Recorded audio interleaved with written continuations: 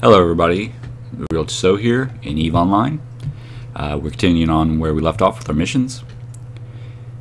The um, in industry career trainer, we have mission 6 for making mountains of molehills. I have just the thing you want. Now for some more complicated production. I want you to make me 20 units of Cap Booster 25.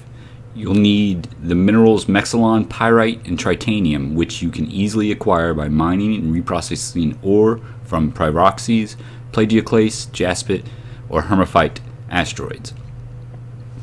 Now, uh, some of those asteroids are hard to find depending on what uh, region of space you're in. Uh, like the Plagioclase will spawn in Gallente space, in uh, I think it's 0.7 is when it starts spawning 0.8 0.7 here in Caldari I believe it's Pyroxes or Pyroxeres however you say it uh, that spawns in this space. And then Jaspet and Hermaphite Hermorphite I believe that is uh, Amarr and uh, Minmatar I don't know which is which though now, uh, you can also just buy these minerals here from the marketplace, and that's what I'm going to do for this mission. Uh, if you don't have the money, uh, you might try to mine them yourself. It takes time. But I'm just explaining the overall concept of the mission. Uh, you've already learned enough mining that you can hunt down these uh, asteroids.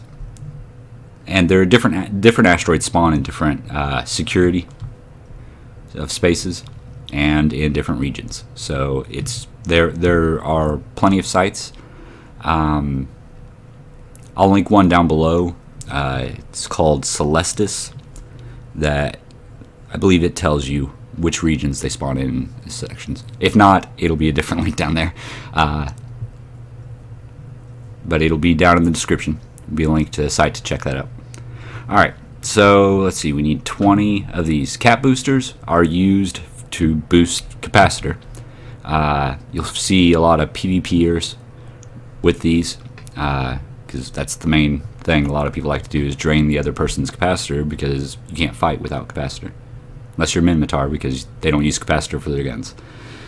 Um, Alright, so it wants us to make these. So I'll show you how to make things if you don't have the resources. Alright, so we're going to go ahead and accept this. Alright, close it.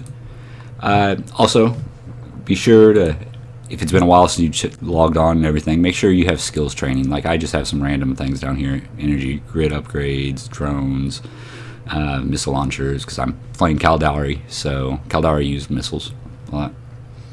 Uh, drones is just because I, I like drones. So you have to get drones 3 and then learn light drone operation to actually use like the Hornets for the Caldari Warriors for um, Minmatar Acolytes for Amarr and Hobgoblins for Gallente.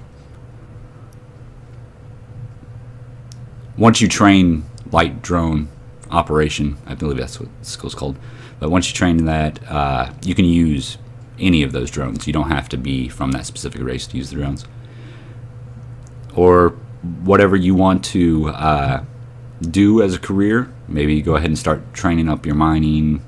That'd be over here in resource processing. Uh, yeah, so let's see. Let's make sure our ship. Oh, we're not. We're not in docking. But I'm just looking. Yeah. Uh, when you start the game, you get the mining laser upgrade when you open your uh, Inception package. Uh, but you can't operate this. Not until you, you go here, show info, um, requirements. See, you need mining upgrades. The skill you don't start with, but uh, like I says, skill book not injected. Required skill book is not injected. You can click that to buy all, or you can just right click here, view market details, and yeah, you make sure that like when you see it's over 90 days, that means it's NPC. Uh, most time, if you're buying skill books for your own personal use, you want to buy from an NPC because uh, players usually will jack up the prices. You see here. in the same station. What the, they're hoping that you know somehow all of these sell out at the station, which I mean I guess it's possible, but not likely. All right, so I'm gonna go ahead and buy this. I think I got the money. Yeah. All right, click. I'll buy this. Yep. Alright. I'm going to go ahead and buy that and inject it so I can use that upgrade down here. What this does says increases the yield of mining lasers but causes them to use more CPU. Your CPU is over here, power grid's down here. As you attach and fit things, this will go up and down. As you learn new skills, things will cost less of these. Um, right here, in attributes, See, mining amount bonus gives 5%. And I believe that's per level of the skill also. Yeah, 5% reduction per skill, our CPU penalty for upgrade modules. So this makes your this thing cost less CPU. Alright. So I'll open my inventory, Alt C. There it goes. Right there's mining upgrades. You can train now to level 1. What that'll do is automatically inject it and then put it at the top of your queue. Or you can hit inject skill. Since my skill queue is full right now, I'm going to go ahead and put train now to level 1 and see what happens. I think it'll bump. Yeah, it says you're currently training drones level 2. It's asking if you want to move, if you want to put it ahead of that. Uh, you can have it ask you every time. I, I usually click that do not ask me because I, I change my skills, whatever I'm training a lot depending on what I'm planning on doing. Alright, yeah, see it put it in the top. It didn't bump that off. You alpha clones can only train up to one day, but I guess since I, I guess the maximum, whatever the maximum here is, one day. So if I put another one day thing down here, it would bump this one off the ground, off the uh, queue. Alright, so be an hour and six minutes. So it won't be won't be anytime soon. Alright, so you give us that blueprint for the cap boosters. Now, uh, once this loads,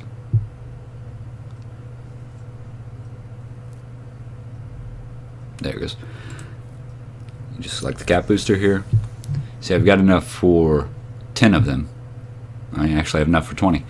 Um, Oh, it's from that tutorial mission. So if you haven't used all your minerals, you'll still have enough to actually build this.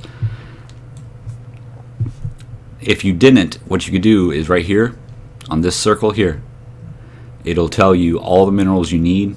You can right click and buy missing materials. And it'll buy from this station if they're available. Uh, which they usually are at most stations, except maybe when you get out further into low sec and null sec.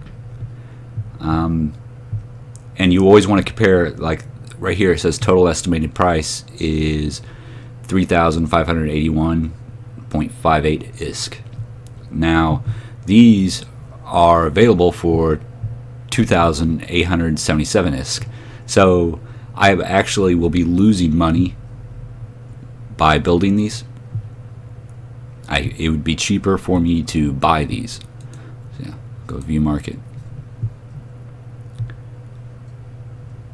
Uh, except there, I'd have to buy these 10 and 10 from there and then 10 from here. See how much that would cost. Oh, yeah, I guess I could have just added a zero. Uh, so that'd be, you have a little calculator here also. Up here in accessories, there's notepad and calculator. We'll open the calculator. And where did it put? Oh, way up here in the corner. Alright, so we'll do 2249.90 plus 168.90 for these 10 here equals so it'll cost me 3939.8 cancel that and the amount of minerals I'm spending is 3,581. So this is actually lying to me because it's the estimated price. So I'm actually saving money by building those now. That's why you got to check it sometimes because the estimated price is like the average price that the system has noticed. Uh, you'll have outliers, the prices that are higher and prices that are lower. You, that's why you got to check your station or if you want to fly somewhere else to get them. All right, so it'll take 9 minutes, 24 seconds. We'll go ahead and start this. Notice I just had to run two runs. There's only two runs on this blueprint. Right here, the darker blue is a blueprint and original. You'll never run out of limits, I mean run out of runs on these. That's why it has the little infinity symbol here. Uh, the lighter blue with the white in it is uh, a blueprint copy. And they always have a limited run. Now, blueprint copies, the, what you do with a blueprint original, you research them. Uh, you can't research at this career station. I don't think you can at any of the career agent mission stations. But you can find facilities. Let's click here. And we'll go, well, let's just say current region. It'll give me a whole bunch. Now, uh, it'll tell you how many jumps away they are and the security system and everything.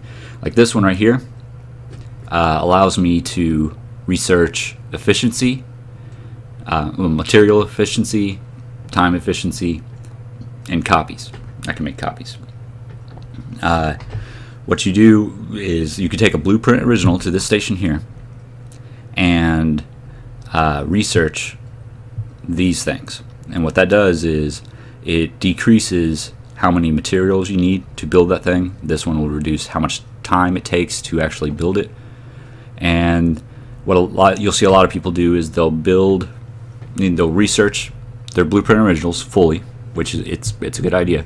Re research them fully, and then you make copies of them. Because with the copies, you can sell them in contracts, which we'll go over contracts in a later episode, or you can uh, use them right here in Invention. What Invention allows you to do is to try to make the Tier 2, Tech 2 version of that. So, say you have a Hobgoblin blueprint and you fully research it, then you copy it. Now, with that copy, you you try to use invention. So you can instead of making Hobgoblin ones, you'll make Hobgoblin twos. Uh, that's the only way to get Tech two things. I, I, well, there might be some blueprint originals for Tech two. I, I'm not too sure about that. I've never really gotten into that. Um, Tech two is where you make a lot of money though in industry. So you'll see a lot of people wanting that stuff, and that's what you'll use like the salvage materials for and some decryptors and stuff like that you get from exploration. Alright, now I've got six minutes left on this job here, so uh, we'll pick up when it's finished. Alright, we're back. Uh, our job is finished now, so we'll go ahead and collect this, hit the deliver button. Alright, close it, and right here. Appears in the first empty spot in your inventory there, your item hanger. So we'll talk to this guy, turn it in. Alright, both those have check marks, so we're good there. Go ahead and complete the mission. Alright, made an easy 498,000. Alright, next time we'll be picking up on Mission 7 for making mountains molehills. Uh, if you haven't yet, please subscribe down below to be kept up to date with anytime I release a video. Uh, if you like the video, give me a thumbs up, please. And if you didn't like it, please give me a uh, thumbs down and uh, post down there in the comments what you didn't like about the video. Uh, if you if you like the video, comment also. You know, I'll if you have any questions, uh, anything like that, uh, it's probably the best way to get a hold of me. Uh, I'm notified as soon as I get a comment. So, until next time, fly safe.